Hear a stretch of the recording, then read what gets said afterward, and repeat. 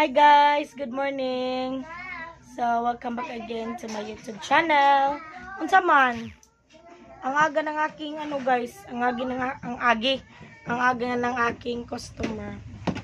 So, para sa kabihan, ito pala, meron nang naluto si Papa Bin guys.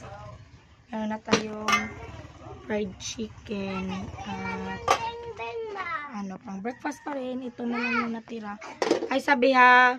Tapos meron din tayong chicken na ano, chicken na apritada.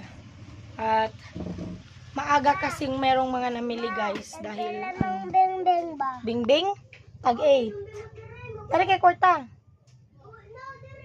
Na kay kwarta? Pila yung maniha ba? Ipa daw. Oh, sakto jud 8. Oh. Ito ang tira. Bibin ako, bibin ako dali. Ato tang papa. Ay dira sa ka.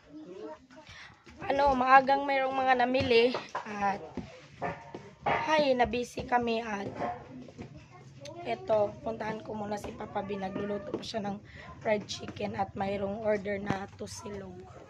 So, ibakam ko muna guys.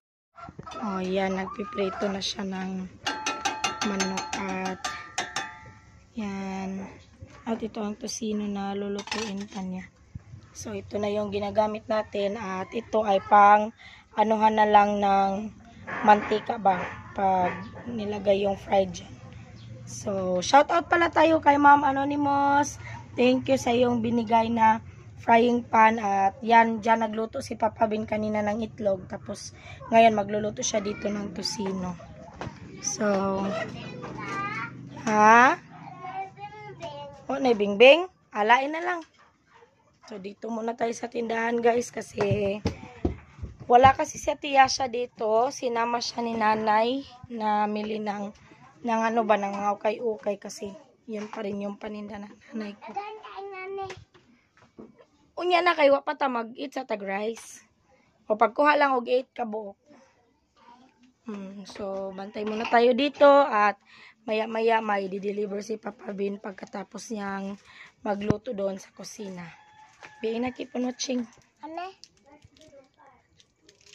Sige na, dali na. Ano watching? Hi! Hello guys! So much blessed talaga tayo ngayong araw na ito kasi ang bilis na ubos ng ating ulam. Char. So ngayon, ito na naman tayo sa kusina at si Papa Bin ay may niluluto na namang sisig dahil may nag-order.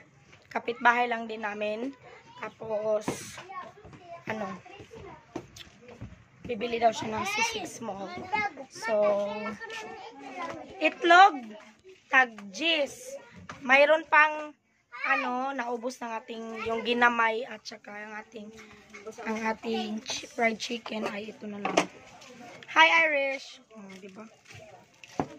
So, nandito na yung kukuha ng kanyang order, guys. At si Papa Bin ay nagluluto pa rin hanggang ngayon. Wake up to George. so, ang ating lababo ay lilinisan natin ngayon kasi ano, may mga hugasin kaunti, kaunti lang naman. Dahil may, ano naman, may tubig naman kasi um, umulan. So, malakas ang tubig. At, shout out tayo kay Ma'am Beverly na siyang nagpaganda ng sobra-sobra sa ating ano, bahay ni Auntie Maggie na aming tinitirhan.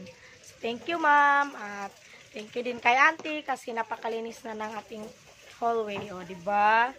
At ito, hindi na tayo medyo busy. Hindi nga ako naka video kanina sa lahat ng mga bumibili kasi syempre di ba ako yung taga-serve. Tapos wala dito sa Tiyasha so ako lang talaga mag-isa kanina. At ang ating yasi di naman natin maasahan. So keep on watching guys. Dahil meron pa tayong mga gagawin mamaya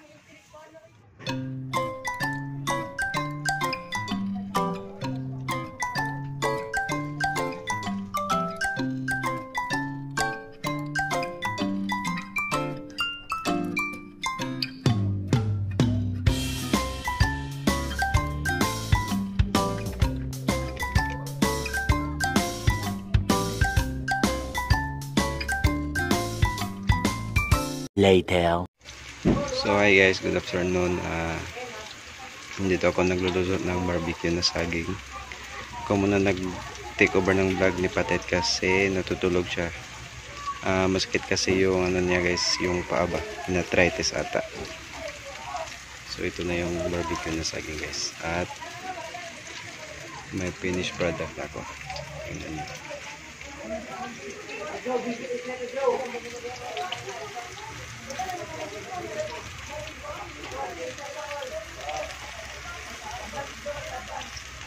Hi guys, good afternoon.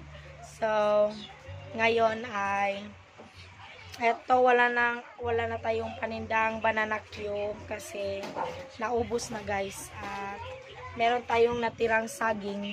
Ito na lang po. So, ubos na lahat ang ating ano. Ito bukas ay ituturo na lang ito ni Papa Bin para ibang putahe na naman baka si pinaypay, tapos banana cube, tapos turon. So, um, kung napapansin nyo guys, ito, short hair na pala yung Jumega. Ah, kinulayan po ito ni Chacha, ang girlfriend ni Sim. Kaming dalawa ni Ate Bian ay nagpag-black na ng hair.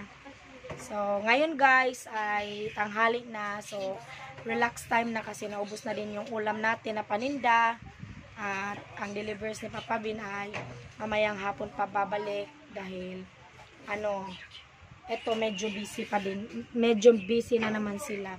Yan, si Papa Bin, si Sim ay nag-arrange ng mga upuan at table na pinaparenta ni Auntie kasi may birthday yung aking kaibigan, si Shimay, ang kanyang anak. Tapos, yano nila yan, ihatid nila yan. At yan, yan o, na-arrange pa ni Papa Vin. At babayaran din sila ngayon ni Sim sa pag-deliver nila at pag-arrange doon.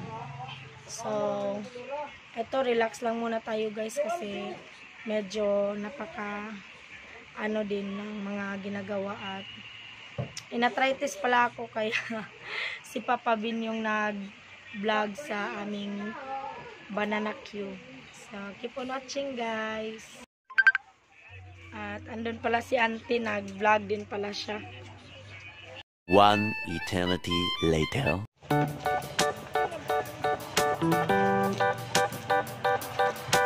Loya to ka.